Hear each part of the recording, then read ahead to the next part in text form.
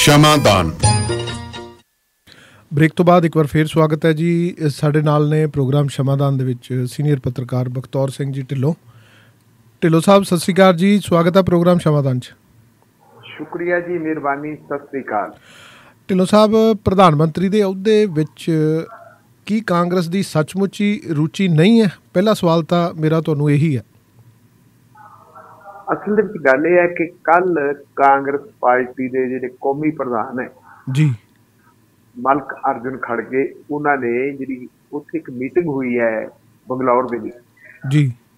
ਉਸ ਮੀਟਿੰਗ ਤੋਂ ਪਹਿਲਾਂ ਗੱਲਬਾਤ ਜਿਹੜੀ ਹੁੰਦੀ ਹੈ ਤੁਹਾਨੂੰ ਪਤਾ ਵੀ ਭਾਸ਼ਣ ਵਗੈਰਾ ਹੁੰਦੇ ਆ ਉਹਦੇ ਵਿੱਚ ਉਹਨਾਂ ਨੇ ਕਿਹਾ ਕਿ ਸਾਡਾ ਨਿਸ਼ਾਨਾ ਜੀ। ਪ੍ਰਧਾਨ ਮੰਤਰੀ ਬਣਾਉਣਾ ਜਾਂ ਸਰਕਾਰ ਬਣਾਉਣਾ ਨਹੀਂ। ਸਾਡੇ ਲਈ ਸੱਤਾ ਜ਼ਰੂਰੀ ਨਹੀਂ। ਅਸੀਂ ਇਸ ਦੇਸ਼ ਦੀ ਖਾਤਰ ਸੱਤਾ ਤਿਆਗ ਵੀ ਸਕਦੇ ਹਾਂ।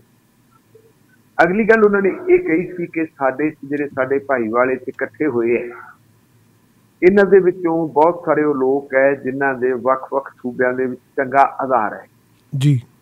ਕਈ ਥਾਵਾਂ ਤੇ ਇਹ ਇੱਕ ਦੂਜੇ ਨਾਲ ਟਕਰਾਉਂਦੇ ਐ।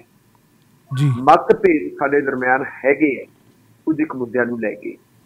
ਪਰ ਉਹਦਾ ਮਤਲਬ ਇਹ ਨਹੀਂ ਕਿ ਅਸੀਂ ਇਸ ਦੇਸ਼ ਨੂੰ ਡੁਬੋ ਦਈਏ ਤੇ ਜਿਹੜਾ ਦੇਸ਼ ਸਾਡੇ ਸਾਹਮਣੇ ਡੁੱਬ ਰਿਹਾ ਹੈ ਇਹਨੂੰ ਬਚਾਉਣ ਦਾ ਕੋਈ ਯਤਨ ਨਾ ਕਰੀਏ। ਇਸ ਲਈ ਅਸੀਂ ਵੱਡੇ ਹਿੱਤਾਂ ਨੂੰ ਮੁੱਖ ਰੱਖਦਿਆਂ ਹੋਇਆਂ ਸਾਡੀ ਕੋਈ ਬਹੁਤੀ ਦਿਲਚਸਪੀ ਨਹੀਂ ਸਰਕਾਰ ਬਣਾਉਣ ਦੇ ਵਿੱਚ ਜਾਂ ਪ੍ਰਧਾਨ ਮੰਤਰੀ ਬਣਨ ਦੇ ਵਿੱਚ।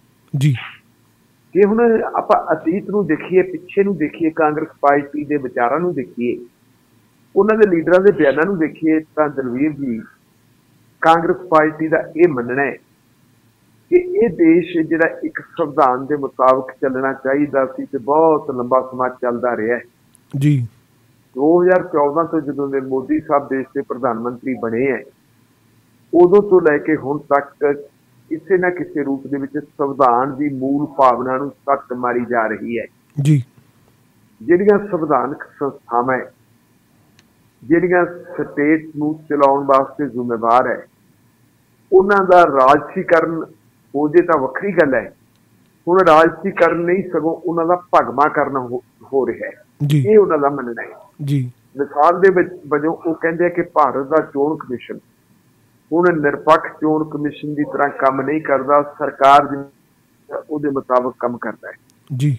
ਅਗਲੀ ਗੱਲ ਉਹ ਕਹਿੰਦੇ ਆ ਕਿ ਜਿਹੜੀਆਂ ਸਾਡੀਆਂ ਅਦਾਲਤਾਂ ਹੈ ਅਦਾਲਤਾਂ ਨੂੰ ਵੀ ਪ੍ਰਭਾਵਿਤ ਕਰਨ ਦਾ ਯਤਨ ਕੀਤਾ ਜਾਂਦਾ ਹੈ। ਜੀ।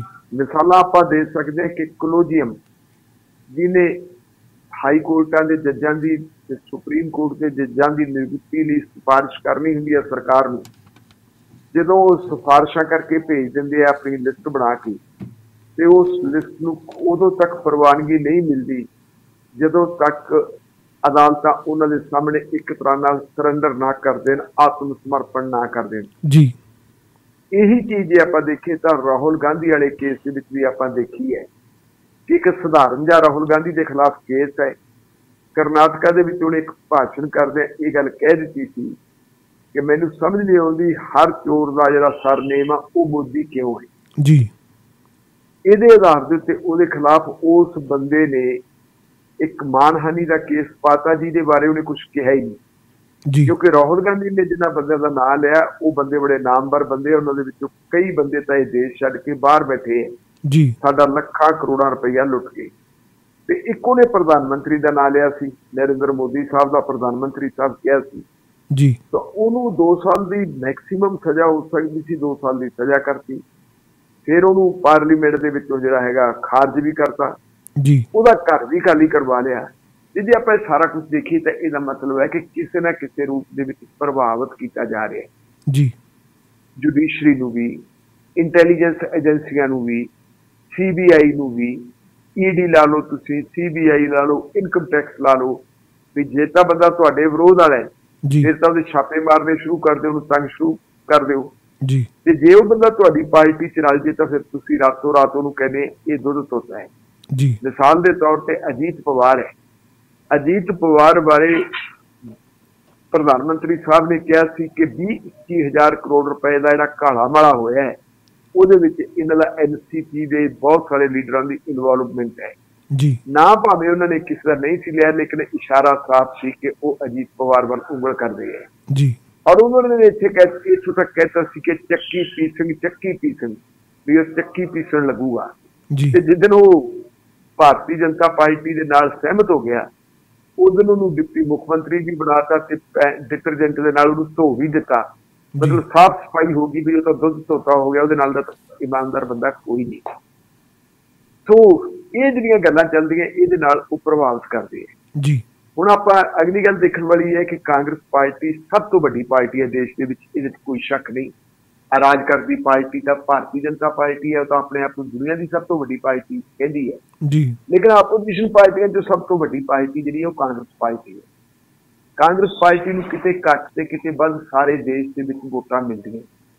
ਪਰ ਉਹਨੂੰ ਇੰਨੀਆਂ ਕੁ ਵੋਟਾਂ ਨਹੀਂ ਮਿਲਦੀਆਂ ਕਿ ਉਹ ਆਪਣੀ ਸਰਕਾਰ ਬਣਾ ਲੇ ਜੀ। ਕਾਂਗਰਸ ਪਾਰਟੀ ਇਹ ਚੰਗੀ ਤਰ੍ਹਾਂ ਜਾਣਦੀ ਹੈ ਕਿ ਜੇ ਸਰਕਾਰ ਬਣਾਉਣੀ ਹੈ ਨਰਿੰਦਰ ਮੋਦੀ ਨੂੰ ਤੇ ਭਾਰਤੀ ਜਨਤਾ ਪਾਰਟੀ ਨੂੰ ਸੱਤਾ ਚੋਂ ਖਾਰਜ ਕਰਨਾ ਹੈ ਇਹਨਾਂ ਨੂੰ ਸਰਕਾਰ ਬਣਾਉਣ ਤੋਂ ਰੋਕਣਾ 2024 ਦੇ ਵਿੱਚ ਫਿਰ ਇਹ ਜ਼ਰੂਰੀ ਹੈ ਕਿ ਕੋਈ ਮਹਾ ਗੱਠਜੋੜ ਬਣਾਇਆ ਜਾਵੇ। ਜੀ। ਔਰ ਉਸ ਗੱਠਜੋੜ ਦੇ ਰਾਹੀਂ ਵਿਰੋਧੀ ਧਿਰ ਦੀਆਂ ਜਿਹੜੀਆਂ ਵੋਟਾਂ ਹੈ ਉਹਨਾਂ ਦੀ ਵੋਟਾਂ ਦੀ ਵੰਡ ਹੋਣ ਤੋਂ ਰੋਕਿਆ ਜਾਵੇ। ਜੀ। ਹੁਣ ਜਦੋਂ ਆਪਾਂ ਵੋਟਾਂ ਰੋਕਣ ਦੀ ਗੱਲ ਕਰਦੇ ਹਾਂ ਤਾਂ ਸਾਡੇ ਪ੍ਰਧਾਨ ਮੰਤਰੀ ਸਾਹਿਬ ਜਿਨ੍ਹਾਂ ਨੇ ਆਪਣੀ ਸਰਕਾਰ ਬਣਾਈ ਹੋਈ ਹੈ ਉਹਨਾਂ ਨੂੰ 37% ਦੀ ਵੋਟਾਂ ਪਈਆਂ ਸੀ ਤੇ 37% ਦੀ ਵੋਟਾਂ ਨਾਲ 303 ਸੀਟਾਂ ਉਹਨਾਂ ਨੇ ਆਪਦੀਆਂ ਲੈ ਲਈਆਂ ਸਨ। ਪਰ ਜੇ ਹੁਣ ਆਪਾਂ ਵੇਖੀਏ ਕਿ ਉਹਨਾਂ ਦੇ ਹੱਕ 'ਚ ਤਾਂ 37% ਪੈ ਗਈਆਂ। ਜਿਹੜੀਆਂ 63% ਉਹਨਾਂ ਨੂੰ ਨਹੀਂ ਪਈਆਂ ਜੇ ਉਹ ਸਾਰੀਆਂ ਵੋਟਾਂ ਇਕੱਠੀਆਂ ਹੋ ਜਾਣ ਤਾਂ ਫਿਰ ਭਾਰਤੀ ਜਨਤਾ ਪਾਰਟੀ ਨੂੰ ਲੈਣੇ ਦੇ ਦੇਣੇ ਪੈ ਸਕਦੇ ਤੇ ਸੱਤਾ ਚੋਂ ਬਾਹਰ ਹੋਣਾ ਪੈ ਸਕਦਾ ਹੈ। ਜੀ। ਸੋ ਕੱਲ ਜਿਹੜਾ ਉਹਨਾਂ ਨੇ ਬਿਆਨ ਦਿੱਤਾ ਹੈ ਮਲਕ ਅਰਜੁਨ ਖੜਗੇ ਨੇ ਉਹਨਾਂ ਨੇ ਇਸੇ ਸੰਦਰਭ ਦੇ ਵਿੱਚ ਦਿੱਤਾ ਹੈ। ਮੈਂ ਮਿਸਾਲ ਦੇਣਾ ਚਾਹੂੰਗਾ ਤੁਹਾਨੂੰ ਪਤਾ ਹੈ ਇਸ ਗੱਲ ਦਾ ਚੰਗੀ ਤਰ੍ਹਾਂ ਕਿ ਪੰਜਾਬ ਦੇ ਵਿੱਚ ਕਾਂਗਰਸ ਪਾਰਟੀ ਦਾ ਜੇ ਮੁੱਖ ਟਕਰਾਅ ਹੈ ਤਾਂ ਉਹ ਆਮ ਆਦਮੀ ਪਾਰਟੀ ਨਾਲ ਹੈ। ਜੀ। ਦਿੱਲੀ 'ਚ ਜੇ ਟਕਰਾਅ ਤਾਂ ਆਮ ਆਦਮੀ ਪਾਰਟੀ ਨਾਲ ਹੈ। ਜਿੱਥੇ ਕਿਤੇ ਚੋਣਾਂ ਆਉਂਦੀਆਂ ਜੇ ਆਮ ਆਦਮੀ ਪਾਰਟੀ ਨਾ ਖੜੀ ਹੋਵੇ ਤਾਂ ਕਾਂਗਰਸ ਪਾਰਟੀ ਆਪਦੀ ਸਰਕਾਰ ਬਣਾ ਸਕਦੀ ਸੀ। ਜਿਵੇਂ ਕਿ ਆਪਾਂ ਦੇਖੀਏ ਗੁਜਰਾਤ ਦੇ ਵਿੱਚ ਹੋਇਆ। ਗੁਜਰਾਤ ਦੇ ਵਿੱਚ ਆਮ ਆਦਮੀ ਪਾਰਟੀ ਨੇ ਸੀਟਾਂ ਭਾਵੇਂ ਥੋੜੀਆਂ ਲੈ ਲਈਆਂ ਲੇਕਿਨ ਨੁਕਸਾਨ ਉਹਨਾਂ ਨੇ ਜ਼ਿਆਦਾ ਜਿਹੜਾ ਕੀਤਾ ਉਹ ਕੀਤਾ ਹੈ ਕਾਂਗਰਸ ਪਾਰਟੀ ਦਾ। ਜੀ। ਜੇ ਆਮ ਆਦਮੀ ਪਾਰਟੀ ਨਾ ਖੜੀ ਹੁੰਦੀ ਤਾਂ ਉੱਥੇ ਕਾਂਗਰਸ ਦੀ ਸਰਕਾਰ ਬਣ ਸਕਦੀ। ਇਸੇ ਤਰੀਕੇ ਜੇ ਆਪਾਂ ਬੰਗਾਲ ਦੇ ਵਿੱਚ ਦੇਖੀ ਤਾਂ ਉੱਥੇ ਟਕਰਾਅ ਮਮਤਾ ਬੈਨਰਜੀ ਨਾਲ ਹੈ ਕਾਂਗਰਸ ਦਾ। ਪਰ ਹੁਣ ਇਹ ਸੋਚਦੇ ਆ ਕਿ ਜੇ ਆਪਾਂ ਸਾਰੇ, ਇਹ ਜਿਹੜੇ ਲੋਕ ਹੈ ਮੈਂ ਆਮ ਆਦਮੀ ਪਾਰਟੀ ਦਾ ਜ਼ਿਕਰ ਕੀਤਾ ਹੈ, ਮਮਤਾ ਬੈਨਰਜੀ ਦਾ ਜ਼ਿਕਰ ਕੀਤਾ ਹੈ, ਬਿਹਾਰ ਵਾਲੇ ਨਤੀਸ਼ ਕੁਮਾਰ ਦੀ ਗੱਲ ਕਰ ਲਈਏ, ਜਾਂ ਆਪਾਂ ਤੇਜਸਵੀ ਯਾਦਵ, ਲਾਲੂ ਪ੍ਰਸਾਦ ਯਾਦਵ ਦੀ ਗੱਲ ਕਰ ਲਈਏ, ਜਾਂ ਅਖਿਲੇਸ਼ ਸਿੰਘ ਯਾਦਵ ਦੀ ਗੱਲ ਕਰ ਲਈਏ, ਜਾਂ ਐਮ ਕੇ ਸਟਾਲਿਨ ਜਿਹੜਾ ਤਾਮਿਲਨਾਡੂ ਦਾ ਮੁੱਖ ਮੰਤਰੀ ਹੈ, ਉਹਦੀ ਗੱਲ ਕਰ ਲਈਏ, ਜਾਂ ਖੱਬੇ ਪੱਖੀ ਪਾਰਟੀਆਂ ਜਿਨ੍ਹਾਂ ਦੀ ਇੱਕ ਸਰਕਾਰ ਕੇਰਲਾ 'ਚ ਉਹਨਾਂ ਦੀ ਗੱਲ ਕਰ ਲਈਏ ਤਾਂ ਇਹ ਸਾਰੀਆਂ ਪਾਰਟੀਆਂ ਉਹ ਹੈ ਜਿਹੜੀਆਂ ਤਪਾਈਆਂ ਹੋਈਆਂ ਕੇਂਦਰ ਸਰਕਾਰ ਵੱਲੋਂ ਸਭ ਨੂੰ ਤੰਗ ਕੀਤਾ ਜਾ ਰਿਹਾ। ਜੀ। ਇਹ ਹੁਣ ਕੱਲੇ ਕੱਲੇ ਜੇ ਲੜਨਗੇ ਤੇ ਇਹਨਾਂ ਦਾ ਕੱਖ ਨਹੀਂ ਬਣਦਾ। ਜੇ ਇਕੱਠੇ ਹੋ ਕੇ ਲੜਨਗੇ ਤਾਂ ਇਹ ਆਪ ਦਾ ਚਾਹੇ ਕੁਝ ਬਣਾਉਣ ਜਾਂ ਨਾ ਬਣਾਉਣ ਘੱਟੋ ਘੱਟ ਇਹ ਮੋਦੀ ਨੂੰ ਬੇਦਖਲ ਕਰ ਸਕਦੇ ਆ। ਇਸ ਲਈ ਉਹਨਾਂ ਨੇ ਕਿਹਾ ਜੀ ਸਾਨੂੰ ਕੋਈ ਬਹੁਤੀ ਦਿਲਚਸਪੀ ਨਹੀਂ। ਤੁਸੀਂ ਜਿਹਨੂੰ ਮਰਜ਼ੀ ਹੈ ਬਣਾ ਲਓ ਤੇ ਇੱਕ ਵਾਰੀ ਮੋਦੀ ਸਾਹਿਬ ਨੂੰ ਜਿਹੜਾ ਹੈਗਾ ਆਪਾਂ ਲਾਂਭੇ ਕਰੀਏ ਸੱਤਾ 'ਚ। ਜੀ। ਉਹਦੇ ਵਿੱਚ ਇਹਨੂੰ ਕਈ ਲੋਕ ਇਹ ਕਹਿੰਦੇ ਕਿ ਕਾਂਗਰਸ ਪਾਰਟੀ ਦੀ ਇਹ ਮਜਬੂਰੀ ਹੈ ਉਹਦੇ ਕੋਲ ਕੋਈ ਰਾਹ ਨਹੀਂ। ਗੱਲਾਂ ਦੋਨੇ ਠੀਕ ਹੈ ਮਜਬੂਰੀ ਵੀ ਹੋ ਸਕਦੀ ਹੈ ਲੇਕਿਨ ਹੁਣ ਇਹ ਦੇਖਣਾ ਪੈਣਾ ਹੈ ਕਿ ਇਸ ਵੇਲੇ ਦੀ ਜਿਹੜੀ ਕਾਂਗਰਸ ਦੀ ਲੀਡਰਸ਼ਿਪ ਹੈ ਪ੍ਰਧਾਨ ਭਾਵੇਂ ਮਲਕ ਅਰਜੁਨ ਖੜਗੇ ਹੈ ਲੇਕਿਨ ਲੀਡਰਸ਼ਿਪ ਦੀ ਜੇ ਆਪਾਂ ਗੱਲ ਕਰੀਏ ਤਾਂ ਲੀਡਰ ਉਹਨਾਂ ਦਾ ਜਾਂ ਤਾਂ ਸੋਨੀਆ ਗਾਂਧੀ ਹੈ ਜਾਂ ਰਾਹੁਲ ਗਾਂਧੀ ਹੈ ਤੇ ਜਾਂ ਉਹਦੀ ਭੈਣ ਪ੍ਰਿੰਕਾ ਗਾਂਧੀ ਹੈ ਤਿੰਨ ਬੰਦੇ ਹੈ। ਜੀ। ਇਹ ਨਹਿਰੂ ਗਾਂਧੀ ਖਾਨਦਾਨ ਹੈ ਪਰ ਜੇ ਨਹਿਰੂ ਗਾਂਧੀ ਖਾਨਦਾਨ ਦੇ ਆਪਾਂ ਪਿਛੋਕੜ ਦੇ ਉੱਤੇ ਨਿਗਾਹ ਮਾਰੀਏ ਤਾਂ ਇਹ ਆਪਾਂ ਨੂੰ ਪਤਾ ਹੈ ਕਿ ਪੰਡਿਤ ਜਵਾਹਰ ਲਾਲ ਨਹਿਰੂ ਇਸ ਦੇਸ਼ ਦਾ ਪ੍ਰਧਾਨ ਮੰਤਰੀ ਵੀ ਰਿਹਾ ਜੇਲ੍ਹ 'ਚ ਵੀ ਰਿਹਾ। ਜੀ। ਉਹਦੀ ਧੀ ਇੰਦਰਾ ਗਾਂਧੀ ਵੀ ਦੇਸ਼ ਦੀ ਪ੍ਰਧਾਨ ਮੰਤਰੀ ਰਹੀ ਹੈ। ਉਹਦਾ ਛੋਟਾ ਮੁੰਡਾ ਇੰਦਰਾ ਗਾਂਧੀ ਦਾ ਇੱਕ ਹਵਾਈ ਹਾਦਸੇ 'ਚ ਮਾਰਿਆ ਗਿਆ ਸੀ। ਵੱਡਾ ਮੁੰਡਾ ਜਿਹੜਾ ਰਾਜੀਵ ਗਾਂਧੀ ਸੀ ਉਹ ਇਟਲੀ ਦੇ ਵਿੱਚ ਵਿਆਹਿਆ ਤੇ ਉਹ ਵੀ ਇੱਕ ਹਮਲੇ 'ਚ ਤਾਮਿਲਨਾਡੂ 'ਚ ਮਾਰਿਆ ਸੀ। 1991 ਦੇ ਮਾਰਿਆ ਗਿਆ ਸੀ 1991 ਦੀਆਂ ਚੋਣਾਂ ਵੇਲੇ। 1991 ਦੀਆਂ ਚੋਣਾਂ ਤੋਂ ਬਾਅਦ ਫਿਰ ਇੱਕ ਮੌਕਾ ਆਇਆ ਸੀ ਜਦੋਂ ਸਾਰੀ ਕਾਂਗਰਸ ਪਾਰਟੀ ਨੇ ਸੋਨੀਆ ਗਾਂਧੀ ਨੂੰ ਕਿਹਾ ਸੀ ਕਿ ਆਓ ਤੁਸੀਂ ਸਰਕਾਰ ਦੀ ਅਗਵਾਈ ਕਰੋ। ਜੀ। ਪਰ ਸੋਨੀਆ ਗਾਂਧੀ ਨੇ ਜਵਾਬ ਦਿੱਤਾ ਸੀ ਕਿ ਨਹੀਂ ਮੈਂ ਆਪਣੇ ਬੱਚੇ ਪਾਲਣੇ। ਉਸ ਵੇਲੇ ਫਿਰ ਪ੍ਰਧਾਨ ਮੰਤਰੀ ਬਣਾਇਆ ਗਿਆ ਸੀ ਨਰਸਿਮਹਾ ਰਾਓ ਨੂੰ। ਜੀ। ਔਰ ਨਰਸਿਮਹਾ ਰਾਓ ਨੇ ਆਪਦੀ ਸਰਕਾਰ ਚਲਾਈ ਸੀ ਅਗਾਂਹ ਅਗਲੀ ਚੋਣ ਹਾਰ ਕੇ ਕਾਂਗਰਸ ਪਾਰਟੀ ਲੰਬੇ ਚਲੀ ਗਈ। ਤੇ ਜਦੋਂ ਕਾਂਗਰਸ ਪਾਰਟੀ ਬਿਲਕੁਲ ਡੁੱਬ ਗਈ ਸੀ ਉਦੋਂ ਫਿਰ ਕਾਂਗਰਸੀਆਂ ਨੇ ਸੋਨੀਆ ਨੂੰ ਕਿਹਾ ਕਿ ਆਓ ਸੰਭਾਲੋ। ਤੇ 1998 ਦੇ ਵਿੱਚ ਉਹ ਫਿਰ ਪ੍ਰਧਾਨ ਮੰਤਰੀ ਬਣਦੀ ਹੈ। ਔਰ 2004 ਦੇ ਆਉਂਦਿਆਂ ਆਉਂਦਿਆਂ ਇੱਕ ਕੋਲੀਸ਼ਨ ਸਰਕਾਰ ਬਣਦੀ ਹੈ। ਤੇ ਕੋਲੀਸ਼ਨ ਸਰਕਾਰ ਬਣਨ ਦੇ ਤੋਂ ਪਹਿਲਾਂ ਜਦੋਂ ਇਹ ਗੱਲ ਬਣ ਗਈ ਕਿ ਪ੍ਰਧਾਨ ਸਰਕਾਰ ਤਾਂ ਆਪਣੀ ਬਣ ਰਹੀ ਹੈ ਕਿਉਂਕਿ ਪ੍ਰਧਾਨ ਮੰਤਰੀ ਦਾ ਚਿਹਰਾ ਕੋਈ ਨਹੀਂ ਬਣਾਇਆ ਸੀ। ਤੇ ਪ੍ਰਧਾਨ ਮੰਤਰੀ ਕਿਹਨੂੰ ਬਣਾਇਆ ਜਾਵੇ? ਉਦੋਂ ਕਾਂਗਰਸ ਪਾਰਟੀ ਨੇ ਫੈਸਲਾ ਕਰ ਲਿਆ ਸੀ ਕਿ ਸੋਨੀਆ ਗਾਂਧੀ ਨੂੰ ਪ੍ਰਧਾਨ ਮੰਤਰੀ ਬਣਾਇਆ ਜਾਵੇ। ਔਰ ਉਹਨਾਂ ਦੀ ਜਿਹੜੇ ਪਾਰਲੀਮੈਂਟਰੀ ਪਾਰਟੀ ਸੀ ਉਹਦੇ ਵਿੱਚੋਂ ਸਰਬਸੰਮਤੀ ਦਾ ਮਤਾ ਵੀ ਪਾਸ ਹੋ ਗਿਆ ਸੀ। ਔਰ ਉਹ ਮਤਾ ਦੇਸ਼ ਦੇ ਰਾਸ਼ਟਰਪਤੀ ਕੋਲੇ ਭੇਜ ਵੀ ਦਿੱਤਾ ਸੀ ਕਿ ਜੀ। ਸਾਨੂੰ ਸੱਦਾ ਦਿਓ। ਉਸੇ ਵੇਲੇ ਵਿਰੋਧੀ ਧਿਰਾਂ ਨੇ ਰੌਲਾ ਪਾ ਲਿਆ ਕਿ ਸੋਨੀਆ ਗਾਂਧੀ ਭਾਰਤ ਦੀ ਜੰਪਲ ਨਹੀਂ। ਇਹ ਬਹੁ ਜ਼ਰੂਰ ਭਾਰਤ ਦੀ ਹੈ ਨੂੰ ਭਾਰਤ ਦੀ ਹੈ ਭਾਰਤ ਦੀ ਨਾਗਰਿਕ ਵੀ ਹੈ। ਪਾਰਲੀਮੈਂਟ ਦੀ ਮੈਂਬਰ ਵੀ ਹੈ ਪਰ ਜੰਮੀ ਇਟਲੀ ਚ ਹੈ। ਇਸ ਕਰਕੇ ਵਿਦੇਸ਼ੀ ਮੂਲ ਦੀ ਔਰਤ ਹੈ ਤੇ ਇਹਨੂੰ ਪ੍ਰਧਾਨ ਮੰਤਰੀ ਅਸੀਂ ਪ੍ਰਵਾਨ ਨਹੀਂ ਕਰਾਂਗੇ। ਹਾਲਾਂਕਿ ਉਹ ਜਿੰਨਾ ਮਰਜ਼ੀ ਹੈ ਜ਼ੋਰ ਲਾ ਲੈਂਦੇ। ਜੇ ਸੋਨੀਆ ਗਾਂਧੀ ਪ੍ਰਧਾਨ ਮੰਤਰੀ ਬਣਨਾ ਚਾਹੁੰਦੀ ਤਾਂ ਉਹਨੂੰ ਕੋਈ ਰੋਕ ਨਹੀਂ ਸੀ ਸਕਦਾ। ਜੀ। ਪਰ ਸੋਨੀਆ ਗਾਂਧੀ ਨੇ ਇੱਕ ਤਿਆਗ ਦਾ ਸਬੂਤ ਦਿੱਤਾ ਉਹ ਕਹਿੰਦੀ ਨਹੀਂ ਮੈਂ ਪ੍ਰਧਾਨ ਮੰਤਰੀ ਨਹੀਂ ਬਣਨਾ। ਤੇ ਉਹਨੇ ਡਾਕਟਰ ਮਨਮੋਹਨ ਸਿੰਘ ਨੂੰ ਪਹਿਲੇ ਸਿੱਖ ਨੂੰ ਦੇਸ਼ ਦਾ ਪ੍ਰਧਾਨ ਮੰਤਰੀ ਬਣਵਾ ਦਿੱਤਾ ਸੀ। ਉਹਦਾ ਪੁੱਤ ਹੈ ਰਾਹੁਲ ਗਾਂਧੀ। ਰਾਹੁਲ ਗਾਂਧੀ ਇਹ ਠੀਕ ਹੈ ਕਿ ਭਾਰਤ ਜੰਮਿਆ ਪਲਿਆ ਭਾਰਤ 'ਚ ਵੀ ਪੜ੍ਹਾਈ ਹੈ ਤੇ ਪੜ੍ਹਾਈ ਉਹਦੀ ਵਿਦੇਸ਼ ਦੇ ਵਿੱਚ ਵੀ ਹੋਈ ਲੇਕਿਨ ਉਹਦੇ ਸੰਸਕਾਰਾਂ ਦੇ ਉਹਦੇ ਕਰੈਕਟਰ ਦਾ ਫ਼ਰਕ ਹੈ ਉਹਦਾ ਕਰੈਕਟਰ ਸਾਡੇ ਵਰਗਾ ਨਹੀਂ। ਉਹ ਬੰਦਾ ਲੜਾਈ ਲੜ ਰਿਹਾ ਤੇ ਬੜੇ ਲੰਬੇ ਸਮੇਂ ਤੋਂ ਲੜਾਈ ਲੜਦਾ ਆ ਰਿਹਾ ਹੈ। ਜੇ ਉਹਦੀ ਆਪਾਂ ਪਿੱਛੇ ਝਾਤ ਮਾਰੀਏ ਤਾਂ ਤੁਸੀਂ ਇਹ ਦੇਖੋ ਕਿ ਡਾਕਟਰ ਮਨਮੋਹਨ ਸਿੰਘ ਦੀ ਸਰਕਾਰ ਵੇਲੇ ਡਾਕਟਰ ਸਾਹਿਬ ਨੇ ਵਾਰ-ਵਾਰ ਯਤਨ ਕੀਤਾ ਸੀ ਕਿ ਤੂੰ ਆ ਜਾ ਭਾਈ ਮੇਰੀ ਕੈਬਨਿਟ ਦੇ ਵਿੱਚ ਵਜ਼ੀਰ ਬਣ ਜਾ। ਉਹਨੇ ਕਿਹਾ ਸੀ ਨਹੀਂ ਮੈਂ ਵਜ਼ੀਰ ਨਹੀਂ ਬਣਨਾ। ਉਦੋਂ ਤੱਕ ਨਹੀਂ ਬਣਨਾ ਜਿੰਨੀ ਦੇਰ ਤੱਕ ਕਾਂਗਰਸ ਪਾਰਟੀ ਦੀ ਅਸਲ ਸਰਕਾਰ ਨਹੀਂ ਬਣੀ। ਜੀ। ਸੋ ਹੁਣ ਜੇ ਪ੍ਰਧਾਨ ਮੰਤਰੀ ਦੀ ਗੱਲ ਬਣਦੀ ਹੈ ਕਾਂਗਰਸ ਪਾਰਟੀ ਵੱਲੋਂ ਤਾਂ ਰਾਹੁਲ ਗਾਂਧੀ ਹੈ। ਰਾਹੁਲ ਗਾਂਧੀ ਨੂੰ ਇਸ ਗੱਲ ਦਾ ਪਤਾ ਹੈ ਕਿ ਜਿਹੜੀ ਹੁਣ ਕਮਿਸ਼ਨ ਸਰਕਾਰ ਬਣੂਗੀ ਇਹ ਸਰਕਾਰ ਕੋਈ ਬਹੁਤੀ ਪਾਏਦਾਰ ਨਹੀਂ ਹੋਣੀ। ਜੀ। ਬਣ ਵੀ ਜਾਵਾਂਗੇ ਤੇ ਲੱਤਾਂ ਖਿੱਚਣ ਵਾਲੀ ਗੱਲ ਬਣੂਗੀ ਤੇ ਬਦਨਾਮ ਬਹੁਤ ਜ਼ਿਆਦਾ ਹੋ ਜਾਣਗੇ। ਬਿਹਤਰ ਇਹ ਹੈ ਕਿ ਇਹਦੇ ਨਾਲੋਂ ਆਪਾਂ ਬਹੁਤਾ ਦਬਾਅ ਇਸ ਗੱਲ ਤੇ ਨਾ ਪਾਈਏ ਕਿ ਪ੍ਰਧਾਨ ਮੰਤਰੀ ਸਾਡਾ ਹੀ ਬਣਾਓ।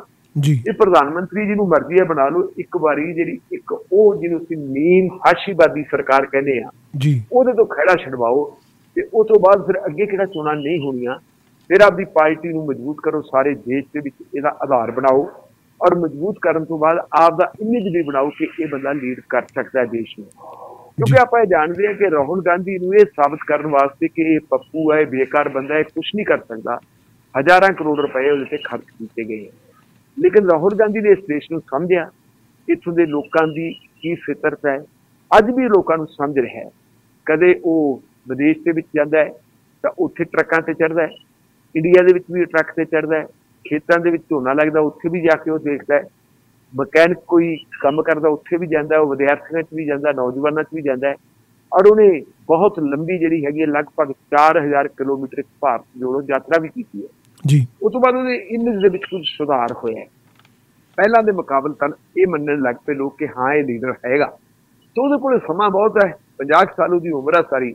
ਜੀ। ਔਰ ਇਹ ਇਹਦੇ ਲਈ ਉਹ ਜੇ ਆਪਣੀ ਪਾਰਟੀ ਨੂੰ ਮਜ਼ਬੂਤ ਕਰੂਗਾ ਤੇ ਇੱਕ ਹੋਲ ਟਾਈਮਰ ਦੀ ਤਰ੍ਹਾਂ ਇੱਕ ਕੁੱਲ ਵਕਤੀ ਪ੍ਰਧਾਨ ਦੀ ਤਰ੍ਹਾਂ ਕੰਮ ਕਰੂਗਾ ਕਿਉਂਕਿ ਪਹਿਲਾਂ ਤਾਂ ਲੋਕਾਂ ਨੂੰ ਇਹ ਯਕੀਨ ਹੀ ਨਹੀਂ ਸੀ ਜੀ। ਕਿ ਇਹ ਬੰਦਾ ਇੱਥੇ ਇੱਕ ਪ੍ਰਧਾਨਗੀ ਕਰ ਵੀ ਸਕਦਾ ਕਿ ਨਹੀਂ। ਕਿਉਂਕਿ ਉਦੋਂ ਦੇ ਬਾਰੇ ਇਹ ਮੰਨਿਆ ਜਾਂਦਾ ਸੀ ਕਿ ਉਹ ਉਹਦੇ 10 ਦਿਨ ਇੱਥੇ ਹੁੰਦੇ ਆ ਤੇ 20 ਦਿਨ ਉਹ ਵਿਦੇਸ਼ਾਂ 'ਚ ਹੁੰਦਾ ਹੈ। ਤੇ ਕਦੋਂ ਕਿੱਧਰ ਨੂੰ ਗਿਆ ਕਿਸੇ ਨੂੰ ਪਤਾ ਨਹੀਂ ਹੁੰਦਾ। ਇਸ ਲਈ ਆਪਾਂ ਕੁੱਲ ਮਿਲਾ ਕੇ ਕਹਿ ਸਕਦੇ ਹਾਂ ਕਿ ਕਾਂਗਰਸ ਪਾਰਟੀ ਦੀ ਜਿਹੜੀ ਇਹ ਪੱਕੀ ਸਮਝ ਬਣ ਚੁੱਕੀ ਹੈ ਪਕਰੋੜ ਸਮਝ ਬਣ ਚੁੱਕੀ ਹੈ ਕਿ ਪਹਿਲਾਂ ਜਿਹੜੀ ਹੈਗੀ ਹੈ ਸਾਨੂੰ ਆਪੋਜੀਸ਼ਨ ਜੂਨਤੀ ਕਰਕੇ ਇਹ ਜਿਹੜੀ ਇੱਕ ਸਰਕਾਰ ਜਿਹੜੀ ਦੇਸ਼ ਦੇ ਲਈ ਵੀ ਖਤਰਨਾਕ ਹੈ ਦੇਸ਼ ਦੇ ਲੋਕਾਂ ਲਈ ਵੀ ਖਤਰਨਾਕ ਹੈ ਇਹ ਤੋਂ ਛੁਟਕਾਰਾ ਹਾਸਲ ਕੀਤਾ ਜਾਵੇ ਤੇ ਜੇ ਕੋਈ ਸੈਕੂਲਰ ਸਰਕਾਰ ਆਉਂਦੀ ਹੈ ਧਰਮ ਨਿਰਪੱਖ ਸਰਕਾਰ ਆਉਂਦੀ ਹੈ ਜਿਹੜੀ ਭਾਰਤ ਦੇ ਸੰਵਿਧਾਨ ਮੁਤਾਬਕ ਚੱਲੇ ਤਾਂ ਉਸ ਤੋਂ ਬਾਅਦ ਫਿਰ ਬੜਾ ਮੌਕਾ ਹੈ। ਦੁਬਾਰਾ ਜਦੋਂ ਮੌਕਾ ਮਿਲੂਗਾ ਆਪਦਾ ਇਮੇਜ ਆਪ ਲੈ ਕੇ ਲੋਕਾਂ 'ਚ ਜਾਵਾਂਗੇ ਚੰਗੇ ਕੰਮ ਕਰਾਂਗੇ ਤਾਂ ਲੋਕ ਦੁਬਾਰਾ ਵੀ ਚੁਣ ਸਕਦੇ ਹੈ। ਇਸ ਲਈ ਕਾਲੀ ਨਹੀਂ ਆਪਾਂ ਇਹ ਨਹੀਂ ਕਹਿੰਦੇ ਕਿ ਤਿਆਗ ਪੁੱਤਰ ਬਣ ਗਏ। ਜੀ ਕਾਂਗਰਸ ਪਾਰਟੀ ਚਾਹੁੰਦੀ ਵੀ ਉਹ ਬਣ ਨਹੀਂ ਸਕਦੇ ਉਹਨਾਂ ਨੂੰ ਪਤਾ ਕਿ ਜੇ ਅਸੀਂ ਆਪ ਨਹੀਂ ਬਣ ਸਕਦੇ ਕੋਈ ਹੋਰ ਬਣ ਸਕਦਾ ਤਾਂ ਉਹਨੂੰ ਬਣਾ ਲਓ। ਜ਼ਰੂਰੀ ਤਾਂ ਨਹੀਂ ਕਿ ਇਸ ਗੱਲ ਦੇ ਵਿੱਚ ਕਿ ਜੇ ਮੈਂ ਨਾ ਬਣੇ ਤਾਂ ਫਿਰ ਕੋਈ ਵੀ ਨਹੀਂ ਤੇ ਫਿਰ ਤਾਂ ਮੋਦੀ ਆਊਗਾ। ਆਊਗਾ। ਇਸ ਕਰਕੇ ਮਤਲਬ ਜਿਹੜੀ ਉਹਨਾਂ ਦੀ ਦਿਲਚਸਪੀ ਹੈ ਜਿਹੜੀ ਥੋੜੀ ਉਹ ਪਹਿਲਾਂ ਦੇ ਮੁਕਾਬਲੇ ਤੋਂ ਘਟੀ ਹੈ। ਜੀ ਦਲਵੀਰ ਜੀ। ਜੀ। ਢਿੱਲੋਂ ਸਾਹਿਬ ਪਹਿਲਵਾਨ ਕੇਸ ਆ ਜਿਹੜਾ ਬ੍ਰਿਜ ਭੂਸ਼ਣ ਨੂੰ ਅੰਤਰਿਮ ਜਮਾਤ ਜ਼ਮਾਨਤ ਜਿਹੜੀ ਆ ਮਿਲ ਗਈ ਆ ਅਗਲੀ ਸੁਣਵਾਈ ਜਿਹੜੀ ਹੈ ਉਹ ਉਹਦੇ ਬਾਰੇ ਕੀ ਅਪਡੇਟਸ ਆ ਜੀ? ਕੀ ਹੈ ਪੂਰਾ ਮਾਮਲਾ ਇਹ ਹੁਣ? ਉਹ ਗੱਲ ਅਸਲ 'ਚ ਇਹ ਹੈ ਕਿ ਇਹ ਕੇਸ ਕੱਲ ਲੱਗਿਆ ਸੀ। ਜੀ। ਆਪਾਂ ਨੂੰ ਪਤਾ ਵੀ ਪਹਿਲਵਾਨਾਂ ਦੇ ਮਾਮਲੇ ਦੇ ਵਿੱਚ ਜਿਹੜਾ ਕੁੜੀਆਂ ਨੇ ਇਲਜ਼ਾਮ ਲਾਇਆ ਸੀ ਜੀ। ਕਿ ਇਹ ਬੰਦਾ ਜਿਹੜਾ ਹੈਗਾ ਬਿਰਜ ਭੂਸ਼ਣ ਸ਼ਰਨ ਸਿੰਘ। ਜੀ। ਇਹ ਜਿਹੜੀ ਰੈਸਲਰ ਫੈਡਰੇਸ਼ਨ ਆਫ ਇੰਡੀਆ ਉਹਦਾ ਪ੍ਰਧਾਨ ਰਿਹਾ ਹੈ। ਜੀ। ਹੁਣ ਤਾਂ ਉਹ ਪ੍ਰਧਾਨ ਹੈ ਨਹੀਂ ਗਾ। ਉਹਦੇ ਬਾਰੇ ਜਾਣਕਾਰੀ ਸੀ ਕਿ ਉਹ ਬੰਦਾ ਜਿਹੜਾ ਹੈਗਾ ਬੜਾ ਬਾਹੂਬਲੀ ਹੈ। ਪਾਰਲੀਮੈਂਟ ਦਾ ਮੈਂਬਰ ਹੈ ਭਾਰਤੀ ਜਨਤਾ ਪਾਰਟੀ ਦਾ ਇੱਕ ਵਾਰੀ ਨਹੀਂ ਕਈ ਵਾਰ ਦਾ ਮੈਂਬਰ ਹੈ। ਜੀ। ਔਰ ਉਹ ਕੁੜੀਆਂ ਉਹਦੇ ਸਾਹਮਣੇ ਡਰਦੀਆਂ ਹੁੰਦੀਆਂ ਸੀ। ਔਰ ਉਹਨਾਂ ਕੁੜੀਆਂ ਦੀ ਮਜਬੂਰੀ ਦਾ ਫਾਇਦਾ ਉਠਾ ਕੇ ਉਹ ਉਹਨਾਂ ਨੂੰ ਖੇ ਖਰਾਬ ਖੱਜਲ ਖੁਆਰ ਕਰਦਾ ਸੀ। ਜੀ। ਔਰ ਉਹਨਾਂ ਕੁੜੀਆਂ ਨੇ ਇਨਸਾਫ ਲੈਣ ਵਾਸਤੇ ਇੱਕ ਅੰਦੋਲਨ ਵੀ ਵਿੱਢਿਆ ਸੀ। ਜੀ। ਅੰਦੋਲਨ ਦੇ ਪਹਿਲੇ ਪੜਾਅ ਦੇ ਵਿੱਚ ਭਾਰਤ ਸਰਕਾਰ ਨੇ ਉਹਨਾਂ ਨਾਲ ਗੱਲਬਾਤ ਕੀਤੀ ਤੇ ਉਹਨਾਂ ਨੇ ਕਹਿਤਾ ਕਿ ਓਵਰਸਾਈਟ ਕਮੇਟੀ ਬਣਾ ਦੇਣੀ ਹੈ। ਇਸ ਸਾਰੇ ਮਾਮਲੇ ਦੀ ਪੜਤਾਲ ਕਰੂਗੀ। ਜੀ। ਬੜੀ ਵੱਡੀ ਇਸਲੀਟ ਹੈ ਮੈਰੀ ਕੌਮ। ਉਹਦੀ ਅਗਵਾਈ ਦੇ ਹੇਠ ਉਹਨਾਂ ਨੇ ਕਮੇਟੀ ਵੀ ਬਣਾਤੀ ਸੀ ਲੇਕਿਨ ਉਸ ਕਮੇਟੀ ਨੇ ਰਿਪੋਰਟ ਸਰਕਾਰ ਨੂੰ ਪੇਸ਼ ਕਰਤੀ ਕਿ ਉਸ ਰਿਪੋਰਟ ਦੇ ਵਿੱਚ ਹੈ ਕੱਖ ਨਹੀਂ। ਜੀ। ਉਹਨੂੰ ਇੱਕ ਕਿਸਮ ਦੀ ਕਲੀਨ ਚਿੱਟ ਦੇ ਦਿੱਤੀ ਸੀ। ਜਿਹੜੇ ਕੁੜੀਆਂ ਸੁਪਰੀਮ ਕੋਰਟ ਚਲੀਆਂ ਗਈਆਂ। ਸੁਪਰੀਮ ਕੋਰਟ ਨੇ ਹੁਕਮ ਦਿੱਤਾ ਕਿ ਬਿਰਜ ਭੂਸ਼ਣ ਦੇ ਖਿਲਾਫ ਪਰਚਾ ਦਰਜ ਕਰੋ। ਉਹਦੇ ਖਿਲਾਫ ਪਰਚਾ ਵੀ ਦਰਜ ਹੋ ਗਿਆ। ਦੇਸ਼ ਭਰ ਦੇ ਵਿੱਚੋਂ ਫਿਰ ਆਵਾਜ਼ਾਂ ਉੱਠਣੀਆਂ ਸ਼ੁਰੂ ਹੋ ਗਈਆਂ ਕਿ ਬਿਰਜ ਭੂਸ਼ਣ ਦੇ ਖਿਲਾਫ ਕਾਰਵਾਈ ਕਰੋ। ਲੇਕਿਨ ਸਰਕਾਰ ਕਾਰਵਾਈ ਨਹੀਂ ਕਰਨਾ ਚਾਹੁੰਦੀ। ਤੁਹਾਡੇ ਮੇਰੇ ਵਰਗਾ ਬੰਦਾ ਹੋਵੇ ਨਿੱਕਾ ਮੋਟਾ ਅਪਰਾਧ ਕੀਤਾ ਹੋਵੇ ਸਕੂਟਰ ਕਾਰ ਕਿਸੇ ਨਾਲ ਟੱਚ ਕਰ ਜੇ। ਜੀ। ਨਿੱਕੇ ਜੇ ਮਾਮਲੇ 'ਚ ਪਹਿਲਾਂ ਪੁਲਿਸ ਜਿਹੜੀ ਹੈਗੀ ਹੈ ਫੜਦੀ ਹੈ ਐਫ ਆਈ ਆਰ ਮਗਰੋਂ ਦਰਜ ਕਰਦੀ ਹੈ। ਤੇ ਪਹਿਲਾਂ ਹਵਾਲਾ ਸੀ ਦਿੰਦੀ ਹੈ ਅਦਾਲਤਾਂ 'ਚ ਭੇਜਦੀ ਹੈ। ਇੱਕ ਬੰਦਾ ਜਿਹੜਾ ਕੁੜੀਆਂ ਦੇ ਨਾਲ ਛੇੜਖਾਨੀ ਕਰਦਾ ਰਿਹਾ ਹੈ ਜਿਹੜਾ ਉਹਨਾਂ ਦਾ ਜਿੰਸੀ ਸ਼ੋਸ਼ਣ ਕਰਨ ਦਾ ਯਤਨ ਕਰਦਾ ਰਿਹਾ ਹੈ ਉਹਦੇ ਖਿਲਾਫ ਸਬੂਤ ਉਹ ਪੇਸ਼ ਕਰ ਰਹੀਆਂ ਹੋਣ। ਸੁਪਰੀਮ ਕੋਰਟ ਨੇ ਕੇਸ ਰਜਿਸਟਰ ਕਰਵਾਇਆ ਹੋਵੇ ਤੇ ਉਹ ਬੰਦੇ ਦੀ ਗ੍ਰਿਫਤਾਰੀ ਨਾ ਹੋਵੇ। ਮੇਰਾ ਖਿਆਲ ਹੈ ਵੀ ਇਦੋਂ ਜਗੋ ਦੇਰਮੀ ਤਾਂ ਕੋਈ ਹੋ ਨਹੀਂ ਸਕਦੀ। ਬਿਲਕੁਲ। ਅਖੀਰ ਜਦੋਂ ਲੜਾਈ ਜ਼ਿਆਦਾ ਵੱਧ ਗਈ ਫਿਰ ਸਰਕਾਰ ਨੇ ਕਿਹਾ ਕਿ ਜੀ ਅਸੀਂ ਪੜਤਾਲ ਕਰਵਾਈ ਜਾਂਦੇ ਆ ਪੁਲਿਸ ਤੋਂ। ਤੇ ਪੁਲਿਸ ਜਿਹੜੀ ਹੈਗੀ ਆ ਕੁਝ ਦਿਨਾਂ ਦੇ ਵਿੱਚ ਆਪਣੀ ਪੜਤਾਲ ਮੁਕੰਮਲ ਕਰਕੇ ਆਪਣੀ ਰਿਪੋਰਟ ਅਦਾਲਤ ਵਿੱਚ ਪੇਸ਼ ਕਰ ਦੇਗੀ ਜੀ। ਉਹਦੇ ਖਿਲਾਫ ਦੋ ਮੁਕੱਦਮੇ ਦਰਜ ਹੋਏ ਸੀ। ਇੱਕ ਨਾਬਾਲਗ ਕੁੜੀ ਸੀ ਜਿਹੜੀ ਕੁੜੀ ਨਾਲ ਛੇੜਛਾੜ ਕੀਤੀ ਸੀ। ਉਸ ਕੇਸ ਦੇ ਵਿੱਚ ਲੱਗਿਆ ਸੀ ਪੋਸਕੋ ਐਕਟ ਪੋਸਕੋ ਐਕਟ ਦੇ ਵਿੱਚ ਹਰ ਸ਼ਖਸ ਦੀ ਗ੍ਰਿਫਤਾਰੀ ਜ਼ਰੂਰੀ ਹੈ। ਲੇਕਿਨ ਦਬਾਅ ਉਸ ਕੁੜੀ ਤੇ ਇੰਨਾ ਜ਼ਿਆਦਾ ਪੈ ਗਿਆ ਉਹਦੇ ਮਾਪਿਆਂ ਤੇ ਇੰਨਾ ਦਬਾਅ ਪੈ ਗਿਆ ਕਿ ਉਹਨੇ ਆਪਣੀ ਕੰਪਲੇਂਟ ਵਾਪਸ ਲੈ ਗਈ ਤੇ ਉਹ ਕੇਸ ਹੋ ਗਿਆ ਰੱਦ। ਪਰ ਜਿਹੜਾ ਦੂਜੀਆਂ ਕੁੜੀਆਂ ਸੀ ਪੰਜ ਛੇ ਉਹਨਾਂ ਨੇ ਜਿਹੜੇ ਬਿਆਨ ਦਿੱਤੇ ਸੀ ਉਹਨਾਂ ਬਿਆਨਾਂ ਦੇ ਆਧਾਰ ਦੇ ਉੱਤੇ ਪਰਚਾ ਵੀ ਦਰਜ ਰਹਿ ਗਿਆ ਤੇ ਪੁਲਿਸ ਨੇ ਚਾਰਜ ਸ਼ੀਟ ਵੀ ਦਾਇਰ ਕਰਤੀ ਜੀ। ਉਹ ਚਾਰਜ ਸ਼ੀਟ ਜਿਹੜੀ ਹੈਗੀ ਹੈ ਹੁਣ ਉਹ ਚਾਰਜ ਸ਼ੀਟ ਅਦਾਲਤ ਪੇਸ਼ ਹੋਈ ਉਹ ਪਹਿਲਾਂ ਹੋ ਗਈ ਸੀ ਤੇ ਕੱਲ ਬਿਰਜ ਭੂਸ਼ਣ ਨੂੰ ਸਮਨ ਕੀਤਾ। ਉੱਥੇ ਉਹਦੇ ਵਕੀਲਾਂ ਨੇ ਤੇ ਉਹਨੇ ਆ ਕੇ ਆਪਣਾ ਕੇਸ ਰੱਖਿਆ। ਉਹਨਾਂ ਨੇ ਕਿਹਾ ਜੀ ਸਾਡੇ ਨਾਲ ਧੱਕਾ ਹੁੰਦਾ ਜ਼ਿਆਦਤੀ ਹੁੰਦੀ ਹੈ ਮੀਡੀਆ ਟ੍ਰਾਇਲ ਵਗੈਰਾ ਹੁੰਦੀ ਹੈ ਤੇ ਸਾਨੂੰ ਜ਼ਮਾਨਤ ਦਿਓ। ਅਦਾਲਤ ਨੇ ਪੁਲਿਸ ਨੂੰ ਪੁੱਛਿਆ ਵੀ ਦੱਸੋ ਇਹਨੂੰ ਜ਼ਮਾਨਤ ਦੇਈਏ ਕਿ ਨਾ ਦੇਈਏ ਤੁਸੀਂ ਇਹਨੂੰ ਗ੍ਰਿਫਤਾਰ ਕਿਉਂ ਨਹੀਂ ਕੀਤਾ? ਤਾਂ ਫਿਰ ਪੁਲਿਸ ਨੇ ਉੱਥੇ ਬਿਲਕੁਲ ਜਿਹੜੀ ਪੂਰੀ ਸਫ਼ਾਈ ਦੇ ਨਾਲ ਉਹਦੀ ਮਦਦ ਕੀਤੀ। ਇੱਕ ਉਸ ਬੰਦੇ ਦੀ ਜਿਹਦੇ ਤੇ ਰੇਪ ਵਰਗੇ ਇੰਜਾਮ ਲੱਗੇ ਹੋਣ। ਉਹਨਾਂ ਨੇ ਕਿਹਾ ਜੀ ਇਹ ਬੰਦਾ ਜਿਹੜਾ ਹੈਗਾ ਸਾਨੂੰ ਕੋਆਪਰੇਟ ਕਰਦਾ ਸੀ ਇਨਵੈਸਟੀਗੇਸ਼ਨ ਦੇ ਵਿੱਚ। ਜਾਂਚ ਦੇ ਵਿੱਚ ਕੋਆਪਰੇਟ ਕਰਦਾ ਸੀ ਤੇ ਕੋਆਪਰੇਟ ਕਰਦਾ ਸੀ ਤੇ ਫਿਰ ਅਸੀਂ ਇਹਨੂੰ ਕਿਉਂ ਫੜੀਏ ਫੜਨ ਦੀ ਲੋੜ ਹੀ ਨਹੀਂ ਪਈ। ਇਹਦੇ ਖਿਲਾਫ 15 ਕੁ ਗਵਾਹਾਂ ਨੇ ਗਵਾਹੀ ਦਿੱਤੀ ਹੈ ਇਹਦੇ ਖਿਲਾਫ ਤੇ ਬਾਕੀ ਜਿਹੜੇ ਹੈਗੇ ਆ ਜੀ ਕਾਫੀ ਕਈ ਦਰਜਨ ਲੋਕ ਉਹ ਹੈ ਜਿਨ੍ਹਾਂ ਨੇ ਦੇ ਹੱਕ ਵਿੱਚ ਦਿੱਤੀ ਹੈ। ਜੀ। ਇਸ ਲਈ ਸਾਨੂੰ ਇਹਦੀ ਕੋਈ ਲੋੜ ਹੀ ਨਹੀਂ ਤਾਂ ਨਹੀਂ ਫੜਿਆ ਅਦਾਲਤ ਦੇ ਸਾਹਮਣੇ ਪੇਸ਼ ਕਰਤਾ। ਅਦਾਲਤ ਨੇ ਉਹਦੀ ਦੋ ਦਿਨਾਂ ਲਈ ਅੰਤਰਮ ਜ਼ਮਾਨਤ ਉਹਨੂੰ ਦੇ ਦਿੱਤੀ ਸੀ ਕਿ ਕੋਈ ਗੱਲ ਨਹੀਂ ਦੋ ਦਿਨ ਤੂੰ ਬਾਹਰ ਚਲਾ ਜਾ। ਜੀ। ਅਦਾਲਤ ਦੇ ਵਿੱਚ ਤੈਨੂੰ ਅਸੀਂ ਜੇਲ੍ਹ ਨਹੀਂ ਭੇਜਾਂਗੇ। ਔਰ ਉਹ ਦੋ ਦਿਨ ਕੱਲ ਖਤਮ ਹੋਣਗੇ। ਕੱਲ 20 ਤਾਰੀਖ ਨੂੰ ਫੇਰ ਉਹਦਾ ਜਿਹੜਾ ਕੇਸ ਹੈ ਉਹ ਜਿਹੜੀ ਸਾਊਥ ਐਵਨਿਊ ਕੋਰਟ ਹੈ ਉਹਦੇ ਵਿੱਚ ਲੱਗਿਆ ਹੋਊਗਾ। ਉੱਥੇ ਫਿਰ ਬਹਿਸ ਹੋਊਗੀ ਔਰ ਉਸ ਬਹਿਸ ਤੋਂ ਬਾਅਦ ਫਿਰ ਪਤਾ ਲੱਗੂਗਾ ਵੀ ਅਦਾਲਤ ਨੂੰ ਪੱਕੀ ਜ਼ਮਾਨਤ ਦਿੰਦੀ ਹੈ ਜਾਂ ਨਹੀਂ ਦਿੰਦੀ। ਪਰ ਮੈਨੂੰ ਜਾਪਦਾ ਇਹ ਹੈ ਕਿ ਜਿਵੇਂ ਇਹਨੂੰ ਇੰਟਰਮ ਬੇਲ ਦੇ ਦਿੱਤੀ ਹੈ ਸ਼ਾਇਦ ਉਹਨੂੰ ਪੱਕੀ ਜ਼ਮਾਨਤ ਨਹੀਂ ਮਿਲੀ ਜਾਵੇ। ਜੀ ਦਲਵੀਰ ਜੀ ਢਿੱਲੋਂ ਸਾਹਿਬ ਇੱਕ ਹੋਰ ਕੇਸ ਚਰਚਾ 'ਚ ਰਿਹਾ ਮੋਦੀ ਸਰਨੇਮ ਵਾਲਾ। ਰਾਹੁਲ ਦੀ ਬੇਨਤੀ ਤੇ ਸੁਪਰੀਮ ਕੋਰਟ ਜਲਦੀ ਸੁਣਵਾਈ ਲਈ ਰਾਜ਼ੀ ਹੋ ਗਈ ਹੈ।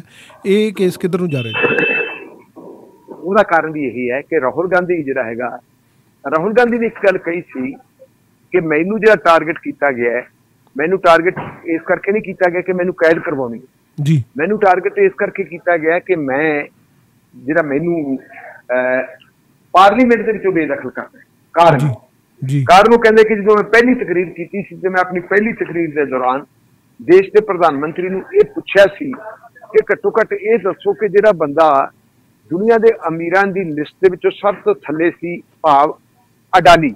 ਜੀ। ਤੇ ਤੁਹਾਡੀ ਸਰਕਾਰ ਦੇ ਆਉਣ ਤੋਂ ਬਾਅਦ ਤੇ ਤੁਹਾਡੇ ਨਾਲ ਉਹਦੀ ਮਿੱਤਰਚਾਰੀ ਪੈਣ ਤੋਂ ਬਾਅਦ ਉਹ ਬੰਦਾ ਇੱਕਦਮ ਜਿਹੜਾ ਹੈਗਾ ਦੂਜੇ ਨੰਬਰ ਤੇ ਦੁਨੀਆ ਦੇ ਅਮੀਰਾਂ 'ਚ ਕਿਵੇਂ ਆ ਗਿਆ।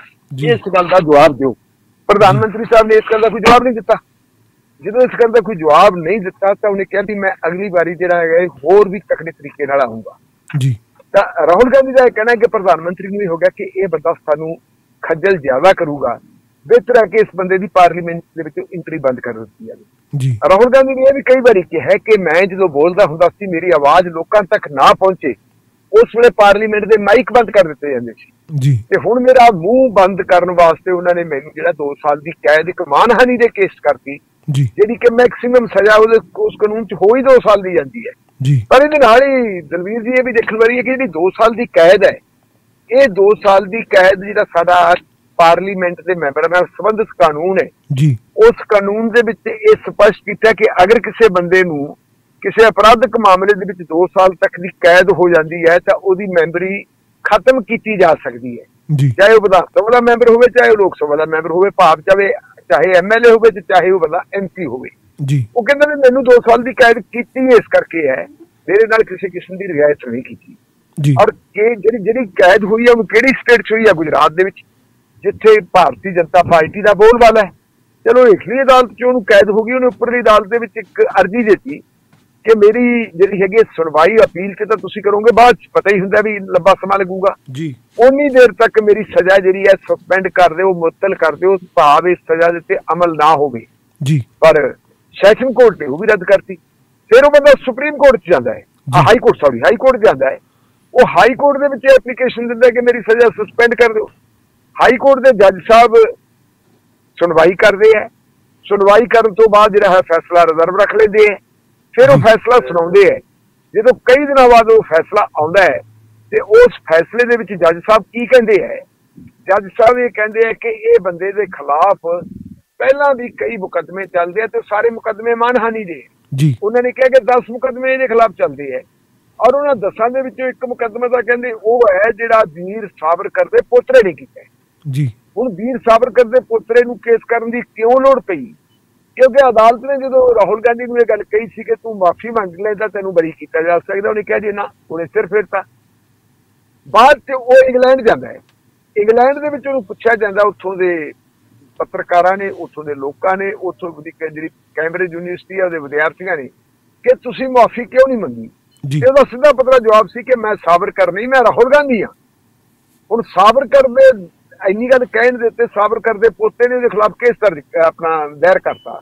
ਜੀ। ਤੇ ਜੇ ਆਪਾਂ ਸਾਬਰਕਰ ਦਾ ਇਤਿਹਾਸ ਦੇਖੀਏ ਸਾਬਰਕਰ ਅੰਡੇਮਾਨ ਨਿਕੋਬਾਰ ਦੀ ਜੇਲ੍ਹ ਹੈ ਜਿਹਨੂੰ ਕਾਲਾ ਪਾਣੀ ਆਪਾਂ ਕਹਿ ਦਿੰਦੇ ਆ ਉਸ ਜੇਲ੍ਹ ਦੇ ਵਿੱਚ ਬੰਦ ਸੀ ਉਹ ਕੱਲਾ ਨਹੀਂ ਬੰਦ ਬੜੇ ਵੱਡੇ ਵੱਡੇ ਦੇਸ਼ ਭਗਤ ਬੰਦ ਸੀ। ਜੀ। ਔਰ ਉਹਨਾਂ ਦੇਸ਼ ਭਗਤਾਂ ਨੇ ਬਹੁਤ ਲੰਬੀਆਂ ਲੰਬੀਆਂ ਕੈਦਾਂ ਕੱਟੀਆਂ ਹੈ। ਪਰ ਸਾਬਰਕਰ ਨੂੰ ਅਜੇ 5-4 ਸਾਲ ਹੀ ਹੋਏ ਸੀ ਜੇਲ੍ਹ ਦੇ ਵਿੱਚ ਤੇ ਸਾਬਰਕਰ ਨੇ ਇੱਕ ਨਹੀਂ ਦੋ ਨਹੀਂ। ਕਈ ਚਿੱਠੀਆਂ ਅੰਗਰੇਜ਼ ਸਰਕਾਰ ਨੂੰ ਲਿਖੀਆਂ ਸੀ ਕਿ ਮੈਂ ਤੁਹਾਡਾ ਵਫਾਦਾਰ ਹਾਂ। ਜੀ। ਮੈਨੂੰ ਬਾਹਰ ਕੱਢ ਦਿਓ ਮੈਨੂੰ ਮਾਫ ਕਰ ਦਿਓ। ਮੈਂ ਅਗਾਂਹ ਨੂੰ ਕਦੇ ਵੀ ਤੁਹਾਡੇ ਖਿਲਾਫ ਨਹੀਂ ਬੋਲਦਾ। ਜੀ। ਜੇ ਤੁਸੀਂ ਮੈਨੂੰ ਜੇਲ੍ਹ ਦੇ ਅੰਦਰ ਰੱਖੋਗੇ ਤਾਂ ਮੈਂ ਤੁਹਾਡੇ ਲਈ ਬਹੁਤਾ ਲਾਹੇਵੰਦ ਨਹੀਂ ਹੋ ਸਕਦਾ। ਤੁਹਾਨੂੰ ਫਾਇਦਾ ਘੱਟ ਹੋਊਗਾ ਜੇ ਮੈਨੂੰ ਜੇਲ੍ਹ 'ਚ ਰੱਖੋਗੇ। ਜੀ। ਜੇ ਤੁਸੀਂ ਮੈਨੂੰ ਜੇਲ੍ਹ 'ਚੋਂ ਬਾਹਰ ਕੱਢ ਦਿਓਗੇ ਤਾਂ ਮੈਂ ਤੁਹਾਡੇ ਵਾਸਤੇ ਕੰਮ ਕਰੂੰਗਾ ਤੁਹਾਡੇ ਫਾਇਦੇ ਦਾ ਕੰਮ ਕਰੂੰਗਾ। ਅੰਗਰੇਜ਼ੋ ਤੁਸੀਂ ਮਾਈ ਬਾਪ ਹੋ ਤੁਹਾਨੂੰ ਹੀ ਸਭ ਕੁਝ ਮਿਲੂਗਾ। ਤੁਸੀਂ ਮੇਰੇ ਮਾਈ ਬਾਪ ਹੋ ਸ਼ਬਦ ਉਹਨੇ ਇਸ ਤੱਕ ਲਿਖਤੇ ਸੀ। ਔਰ ਅੰਗਰੇਜ਼ਾਂ ਨੇ ਇਹਨੂੰ ਮਾਫ ਕਰਤਾ ਸੀ ਤੋਂ ਬੰਦੇ ਨੂੰ ਜੇਲ੍ਹ ਤੋਂ ਬਾਹਰ ਕੱਢਤਾ ਸੀ। ਜੀ। ਤੇ ਫਿਰ ਤਾਂ ਜ਼ਿੰਦਗੀ ਉਹਨੇ ਕਦੇ ਅੰਗਰੇਜ਼ਾਂ ਦੇ ਖਿਲਾਫ ਕੁਝ ਬੋਲਿਆ ਨਹੀਂ ਸੀ। ਇੱਥੋਂ ਤੱਕ ਕਿ ਜਿਹੜੀ ਉਹਦੀ ਪਾਰਟੀ ਸੀ ਜਾਂ ਜਿਹੜੀ ਉਹਦੀ ਜਥੇਬੰਦੀ ਸੀ ਆਰਐਸਐਸ ਨਾ ਕਦੇ ਉਹ ਬੋਲੀ ਸੀ। ਆਰਐਸਐਸ ਦਾ ਪਹਿਲਾ ਜਿਹੜਾ ਪਹਿਲਾ ਪੋਲੀਟੀਕਲ ਫਰੰਟ ਸੀ ਉਹਦਾ ਨਾਮ ਸੀ ਹਿੰਦੂ ਮਹਾਸਭਾ ਨਾ ਕਦੇ ਉਹ ਬੋਲੀ ਸੀ। ਉਹਦਾ ਦੂਜਾ ਜਿਹੜਾ ਹੈਗਾ ਰੂਪ ਸੀ ਉਹ ਸੀ ਜਨਸੰਘ ਪਾਰਟੀ। ਜਦ ਉਦੋਂ ਤਾਂ ਦੇਸ਼ ਆਜ਼ਾਦ ਹੋ ਗਿਆ ਸੀ ਉਹ ਵੀ ਨਹੀਂ ਬੋਲੀ। ਤੇ ਤੀਜਾ ਉਹਦਾ ਰੂਪ ਜਿਹੜਾ ਹੈਗਾ ਭਾਰਤੀ ਜਨਤਾ ਪਾਰਟੀ। ਜੀ। ਕੱਲ ਤੁਸੀਂ ਦੇਖਿਆ ਹੋਣਾ ਕਿ ਅੰਡੇਮਾਨ ਨਿਕੋਬਾਰ ਦੇ ਵਿੱਚ ਇੱਕ ਹਵਾਈ ਅੱਡੇ ਦਾ ਉਦਘਾਟਨ ਕੀਤਾ ਦੇਸ਼ ਦੇ ਪ੍ਰਧਾਨ ਮੰਤਰੀ ਨੇ। ਉਹ ਵਰਚੁਅਲ ਉਦਘਾਟਨ ਕੀਤਾ ਦਿੱਲੀੋਂ ਬਟਨ ਦਬਾਇਆ ਸੀ।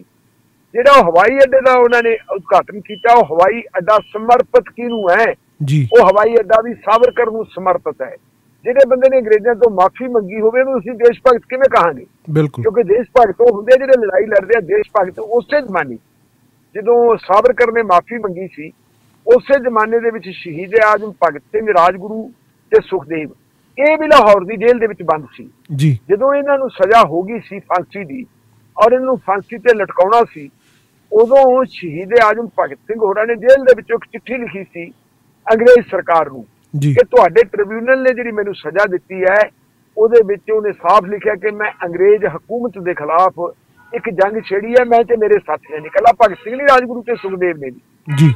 ਉਹਨਾਂ ਨੇ ਕਹਿੰਦੇ ਵੀ ਜਦੋਂ ਉਹਨਾਂ ਨੇ ਕਿਹਾ ਕਿ ਮੈਂ ਜੰਗ ਛੇੜੀ ਹੈ ਇਹਦਾ ਮਤਲਬ ਆ ਮੈਂ ਜੰਗੀ ਆ ਕੈਦੀ ਆ ਮੇਰੇ ਸਾਥੀ ਜੰਗੀ ਕੈਦੀ ਹੈ। ਇਸ ਲਈ ਸਾਨੂੰ ਜਿਹੜੇ ਜੰਗੀ ਕੈਦੀ ਹੁੰਦੇ ਆ ਜੰਗੀ ਕੈਦੀਆਂ ਨਾਲ ਜੰਗੀ ਕੈਦੀਆਂ ਵਾਲਾ ਹੀ ਸਲੂਕ ਕੀਤਾ ਜਾਵੇ। ਜੀ। ਮੈਂ ਮਾਫੀ ਨਹੀਂ ਮੰਗਦਾ ਜਾਂ ਮੇਰੇ ਸਾਥੀ ਮਾਫੀ ਨਹੀਂ ਮੰਗਦੇ।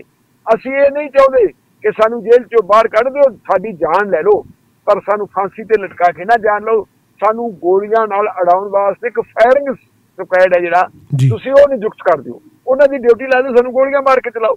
ਉਹਨਾਂ ਨੂੰ ਅਸੀਂ ਦੇਸ਼ ਭਗਤ ਕਵਾਂਗੇ ਉਹਨਾਂ ਦੇ ਨਾਂ ਦੇ ਉੱਤੇ ਮੇਲੇ ਵੀ ਲੱਗਦੇ ਆ ਤੇ ਉਹਨਾਂ ਦੇ ਨਾਂ ਦੇ ਉੱਤੇ ਗੀਤ ਵੀ ਚੱਲਦੇ ਆ ਤੇ ਉਹਨਾਂ ਦਾ ਸਿਲੇਬਸ ਦੇ ਵਿੱਚ ਨਾਂ ਵੀ ਆਉਂਦਾ ਪਰ ਹੁਣ ਇਹ ਕੀ ਕਹਿੰਦੇ ਆ? ਕਹਿੰਦੇ ਵੀ ਜਿਹੜੇ ਬੰਦੇ ਨੇ ਮਾਫੀ ਮੰਗੀ ਸੀ ਉਹਦਾ ਅਸੀਂ ਹਵਾਈ ਜਹਾਜ਼ ਵੀ ਬਣਾ ਹਵਾਈ ਅੱਡਾ ਵੀ ਬਣਾ ਦਿੱਤਾ ਹੈ। ਤੇ ਰਾਹੁਲ ਗਾਂਧੀ ਕਹਿੰਦਾ ਵੀ ਮੈਂ ਉਹ ਨਹੀਂ। ਜਦੋਂ ਜੱਜ ਸਾਹਿਬ ਇਹ ਕੁਝ ਆਪਣੇ ਫੈਸਲੇ ਦੇ ਵਿੱਚ ਲਿਖਦੇ ਹੈ ਜੀ। ਫਿਰ ਪਤਾ ਤਾਂ ਲੱਗਦਾ 9 ਪੁਆਇੰਟ ਬਣਾਏ ਆ ਰਾਹੁਲ ਗਾਂਧੀ ਨੇ ਆਪਣੀ ਅਪੀਲ ਦੇ ਉਹਨਾਂ 9 ਪੁਆਇੰਟਾਂ ਦੇ ਵਿੱਚ ਉਹਨੇ ਵੱਖ-ਵੱਖ ਗੱਲ ਕਹੀ ਆ ਕਿਸੇ ਵੇਲੇ ਆਪਾਂ ਫੇਰ ਕਰਾਂਗੇ। ਤਾਂ ਫਿਰ ਕੱਲ ਜਦੋਂ ਉਹਨਾਂ ਦੀ ਕਿਉਂਕਿ ਅੱਗੇ ਪਾਰਲੀਮੈਂਟ ਦਾ ਸੈਸ਼ਨ ਹੋਣਾ ਹੈ ਜੀ। ਆਪਾਂ ਪਹਿਲਾਂ ਜ਼ਿਕਰ ਕਰ ਚੁੱਕੇ ਹਾਂ ਕਿ ਉਹਨੂੰ ਪਾਰਲੀਮੈਂਟ ਜੀ। ਫਿਰ ਦ ਜਸਟਿਸ ਡੀਵਾਈ ਚੰਦਰਚੂੜ ਜਿਹੜੇ ਚੀਫ ਜਸਟਿਸ ਆਫ ਇੰਡੀਆ ਜੀ।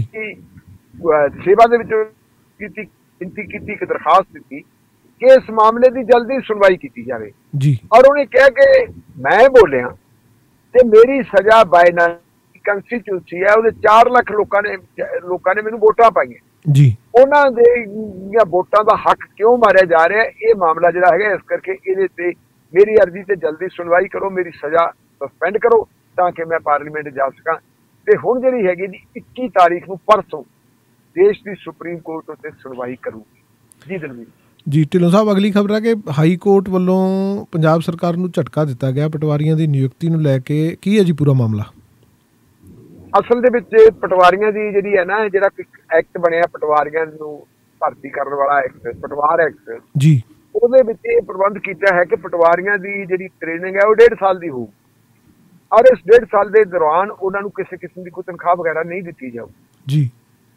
ਇਹਨਾਂ ਨੇ ਜਿਹੜਾ ਪਹਿਲਾ ਇੱਕ ਬੈਚ ਭਰਤੀ ਕੀਤਾ ਸੀ ਪੰਜਾਬ ਸਰਕਾਰ ਨੇ ਉਹ ਕਾਂਗਰਸ ਸਰਕਾਰ ਵੇਲੇ ਦੀ ਭਰਤੀ ਵਾਸਤੇ ਐਪਲੀਕੇਸ਼ਨਾਂ ਮੰਗੀਆਂ ਹੋਈਆਂ ਸੀ।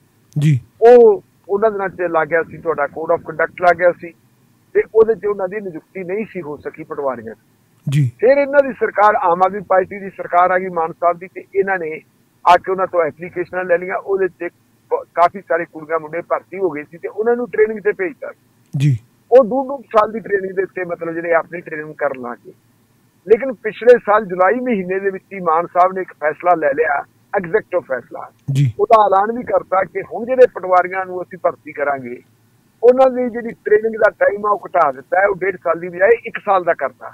ਜੀ। ਔਰ ਟ੍ਰੇਨਿੰਗ ਦੌਰਾਨ ਉਹਨਾਂ ਨੂੰ ਤਨਖਾਹ ਵੀ ਮਿਲੂਗੀ। ਜੀ। ਇਹ ਉਹਨਾਂ ਨੇ ਜਦੋਂ ਗੱਲ ਕਹਿਤੀ ਕਹਿੰਦੇ ਜੀ ਠੀਕ ਹੈ। ਉਹ ਲੜਕੇ ਲੜਕੀਆਂ ਜਿਹੜੇ ਹੈਗੇ ਚਲੇ ਗਏ ਜੀ ਉਹਦੇ ਤੇ ਤਨਖਾਹ ਆਪਣੇ ਤੇ ਟ੍ਰੇਨਿੰਗ ਤੇ ਚਲੇ ਗਏ। ਤਾਂ ਹੁਣ ਜਿਹੜੇ ਪੁਰਾਣੇ ਸੀਗੇ ਪਟਵਾਰੀ ਉਹਨਾਂ ਪੁਰਾਣੇ ਪਟਵਾਰੀਆਂ ਨੇ ਇੱਕ ਦੇ ਦਿੱਤੀ ਦਰਖਾਸਤ ਦੇ ਦਿੱਤੀ।